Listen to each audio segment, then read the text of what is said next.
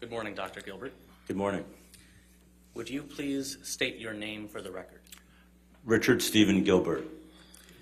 And what is your occupation? I am an orthopedic surgeon and I have a subspecialty training in surgery of the hand and upper extremity. Dr. Gilbert, where do you work currently? I currently work in New York and Long Island at Northwell Health. And you mentioned you have a specialty. Can you tell us a little bit more about what your specialty is? So after medical school, I trained in orthopedic surgery and I did an orthopedic surgery residency. And for a year thereafter, I did a hand and upper extremity sur- surgery resident fellowship. And so my, my practice for the past 22 years has been limited to surgery of the hand, wrist, and elbow. And I think you may have gotten ahead of me there, but how, how long have you been practicing? 22 years? Okay.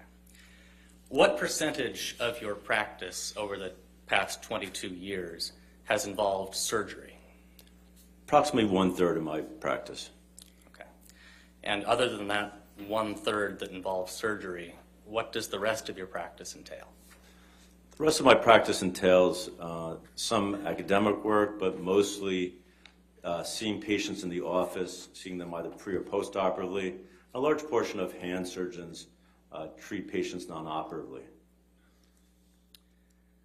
In terms of the surgeries that you do, can you describe for us um, the, the types of surgeries that you will perform?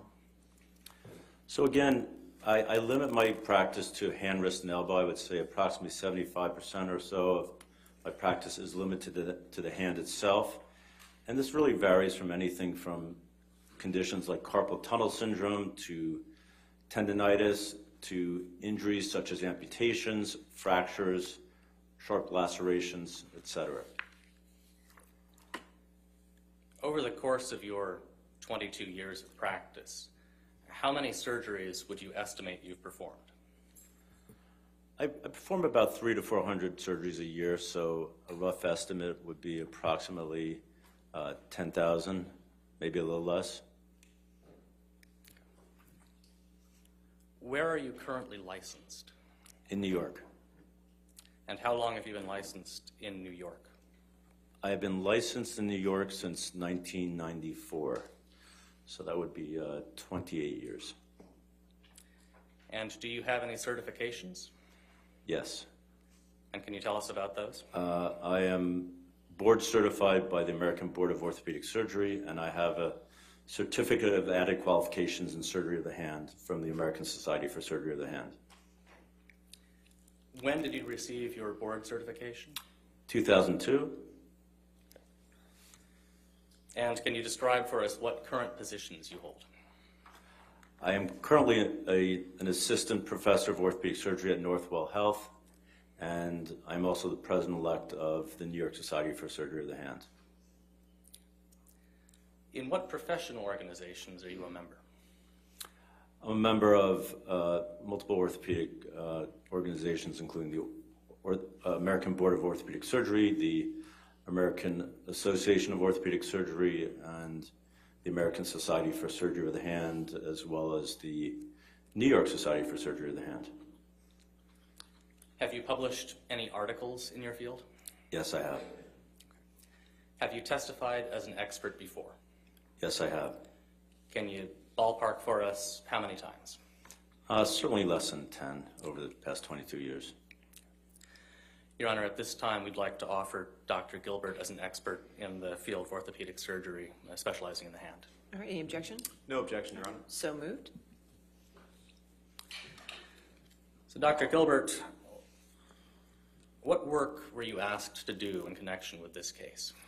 So I was asked to review uh, medical records, radiographs, pictures, as well as testimonies and depositions related to Mr. Depp's finger injury.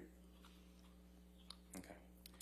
And to your understanding, what is Mr. Depp's explanation of how his finger was injured? He describes that he was in Australia, and his right hand was over the side of a bar uh, when a vodka bottle was thrown at his hand, injuring his right middle finger.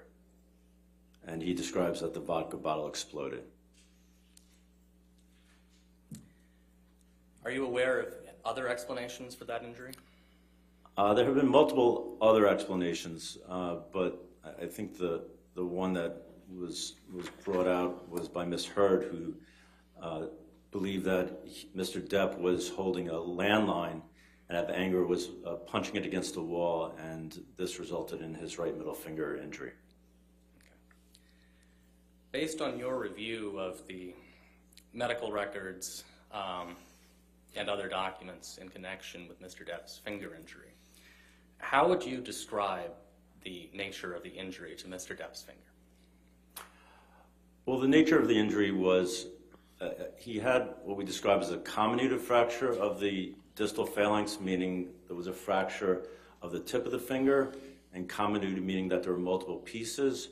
So this is some type of blunt force with a high mechanism of injury. He also sustained loss of the tissue along what's called the ul- ulnar side of the finger towards the little finger. Uh, and this uh, appeared, uh, based upon my review of the pictures, to be some type of sharp laceration because it, it represented a clean edges of the wound. Can we take a look at Plaintiff's Exhibit 60? And pull up to go, go to page three. And Dr. Gilbert, are you familiar with this document? Yes. And, and what is it? So these are two radiographs, x-rays of Mr. Depp's fingers, finger, his middle finger. Okay. Um, sorry, just to stop you, but, uh, Your Honor, may we publish this to the jury as a demonstrative? A- Any objection?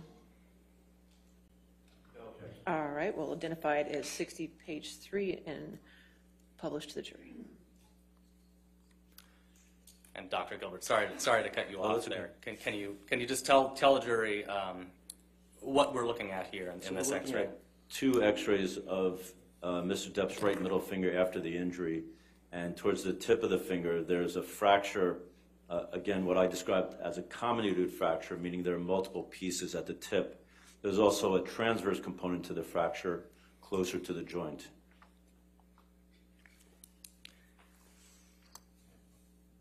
In your view, what types of mechanisms can cause this sort of injury? So this is a, a mechanism of injury that has high velocity or force, generally a crush-type injury. A simple fall would not result in a comminuted fracture such as is seen in these x-rays. And we, we're using the term comminuted fracture. Can we just define that quickly for us? So again, comminuted, and it's not particular to a finger, can, is, is a medical term for a fracture that has multiple fragments.